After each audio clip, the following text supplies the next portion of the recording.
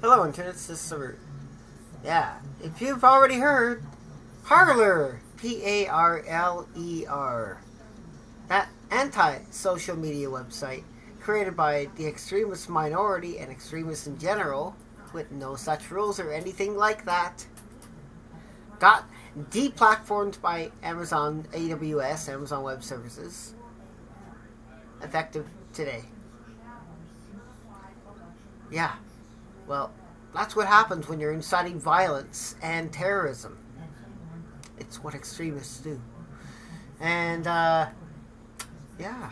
Goodbye, good riddance. They formed their own social media because they got barred from Facebook and Twitter for, you guessed it, inciting violence and violating the terms of service and community guidelines. That's on Facebook. But still, terms of use, terms of service, you know, you have to abide by them.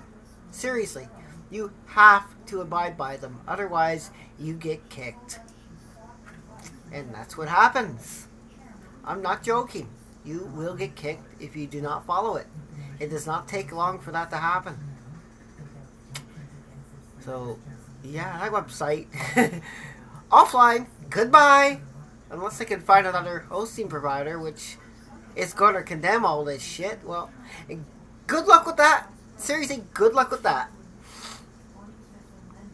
Very much good luck for that. I don't think they're going to find another hosting provider that's going to condemn such shit without deep consequences and the same reliability. You know, reliability. Zero downtime. Well, there's not the thing as zero downtime, but regardless, they're probably if they do find a hosting provider, they're probably going to come across one that's been it's either getting used for or getting hit by distributed denial of service attacks. Yeah, it's probably what they're going to go for, and it's going to suck.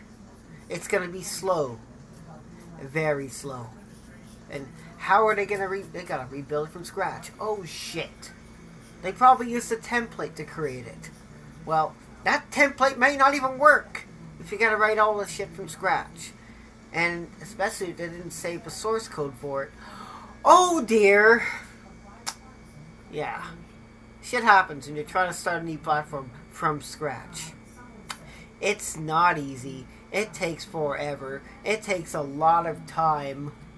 And once you got it up and running, who are you going to have for the moderation team? Oh, zilch! Nobody! Nobody except, oh wait, you might have some that completely disagree with the majority's viewpoints, you know, which hugely vary, that are non-extremists, non-conspiracy, fringe truth, or batshit theories.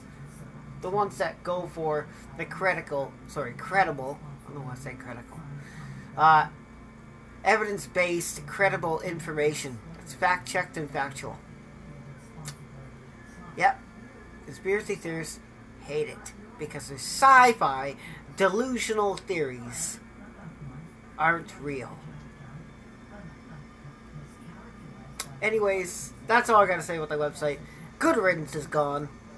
Just good riddance. We don't need that kind of shit. Anyways, peace out. Thank you for watching. And these are just the thoughts of my own, motherfuckers. And that's it.